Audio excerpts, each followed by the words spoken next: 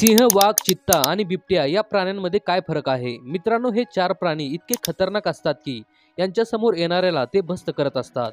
या प्राण्यांमध्ये नेमका काय फरक आहे तेच आज आपण जाणून घेणार आहोत. या लिस्टमध्ये पहिल्या क्रमांकावर सिंह हा प्राणी आहे ज्याला ओळखणे फार सोपे आहे कारण याच्या चेहऱ्यावर आणि मानेवर मोठ्या प्रमाणात केस असतात.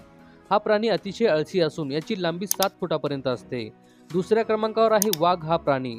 जो आकारमानाने खूप मोठा असतो आणि याच्या अंगावर काळ्या रंगाचे पट्टे असतात. या लिस्टमध्ये तिसऱ्या क्रमांकावर आहे चित्ता हा प्राणी जो जगातील सर्वात वेगाने धावणारा प्राणी म्हणून ओळखला जातो. हा प्राणी फक्त चार ते पाच सेकंदात बहात्तर किलोमीटर प्रति तास वेगाने धावू शकतो. या प्राण्याच्या अंगावरही काळे टिपके असतात. चौथ्या क्रमांकावर आहे बिबट्या हा प्राणी जो भारताच्या वेगवेगळ्या भागात आढळून येतो. चित्ता आणि बिबट्या हे दोन प्राणी वेगवेगळे आहेत मात्र पाहायला ते एकसारखेच दिसतात. मित्रांनो या प्राण्यांमध्ये जंगलाचा राजा कोणता ते आम्हाला कमेंट करून नक्की कळा